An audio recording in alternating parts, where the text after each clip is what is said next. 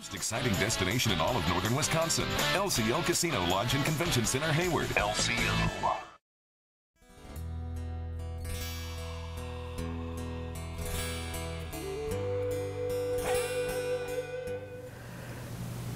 Hello, I'm Kimberlie, and welcome to the Native News Update.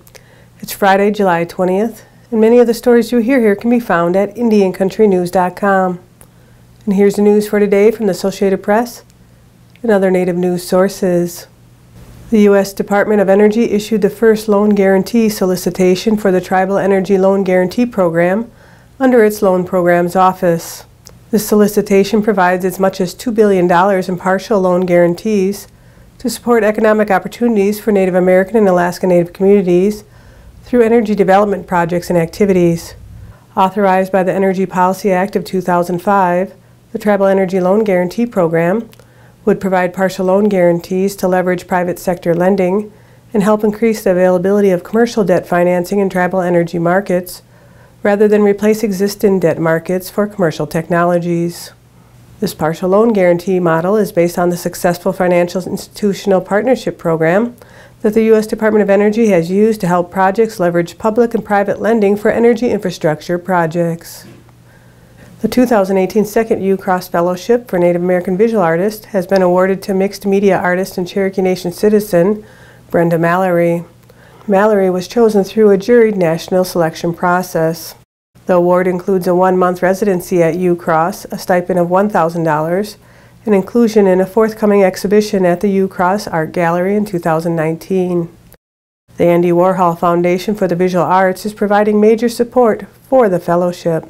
Mallory has received grants from the Oregon Arts Commission, the Ford Family Foundation, and the Regional Arts and Cultural Council. In 2015, she was the Eiteljorg Museum Contemporary Native Art Fellow and in 2016 she received a fellowship in the visual arts from the Native Arts and Culture Foundation. The Ucross Fellowship for Native American Visual Artists was initiated in 2017 to support the work of contemporary Native American visual artists at all the stages of their professional careers. Two fellowships are awarded annually, one in the spring and fall. Beginning in 2019, fellowship stipends will be $2,000. The next application deadline for fellowships is October 1st, and the application can be found at ucross.org. In its 16th year, the Native American Basketball Invitational has become the biggest Native American basketball tournament in North America. Around 160 teams applied from across the U.S. for the 128 spots that were available in this year's tournament. A team whose players never practiced or played together before this year's event took a shocking championship win. Savage Storm, based out of Okeechobee, Florida, won the Division I title. Teresa Frost and her husband, Stefan, have sponsored Savage Storm for seven years. Frost finds kids who have been cut from other teams around the country and cannot afford to attend the Invitational to compile her roster for the tournament. This year, the team was made up of players from Native American reservations across the country, including South Dakota, Mississippi, Florida, Nebraska, and Oklahoma. The Storm defeated CMD from Fort McDowell, Arizona in the championship game 69 65 to capture the trophy. Cyclists from the 2018 Remember the Removal bike ride arrived in Tahlequah, Oklahoma June 21st, finishing their three-week trek that retraced the northern route of the Trail of Tears.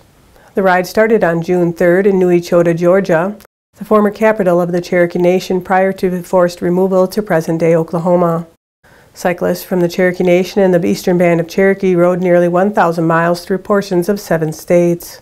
During the journey from Georgia to Oklahoma, participants visited historical landmarks that were important to the Cherokee people, including Blythe Ferry in Tennessee, which was the last part of the Cherokee homeland walked by the ancestors before beginning their journey into Indian territory. They also visited Mantle Rock in Kentucky, which provided shelter to many Cherokees as they waited for safe passage across the frozen Ohio River. Of the estimated 16,000 Cherokees forced to make the Trail of Tears journey to Indian Territory 180 years ago, around 4,000 died due to exposure to elements, starvation, and disease. Former U.S. Army Private First Class Jessica Lynch serves as an honorary chair of the 2018 Fiesta Bowl Lori Piestewa National Native American Games on July 20th through the 22nd. Lynch and Native American basketball star Jude Schimmel, a member of the Umatilla, spoke and met attendees at the APS Health Fair and opening ceremonies. The largest competition of its kind, the 2018 Games, has attracted more than 3,000 athletes representing more than 50 tribes from across North America. The games are named for Lori Piestewa, a U.S. Army soldier killed in Iraq in 2003. Piestewa was the first Native American woman to die in combat while serving in the military. Jessica Lynch, who was awarded a Bronze Star, Purple Heart, and a Prisoner of War medal by the U.S. Armed Forces, was wounded and captured in the ambush that resulted in Piestewa's death. During the event, Native American athletes will compete in basketball, volleyball, youth baseball, softball, cross country, and track and field.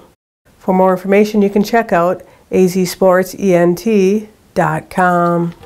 And that's another roundup of news from Indian Country on this edition of the Nave News Update. I'd like to thank you for joining me and have a grand day.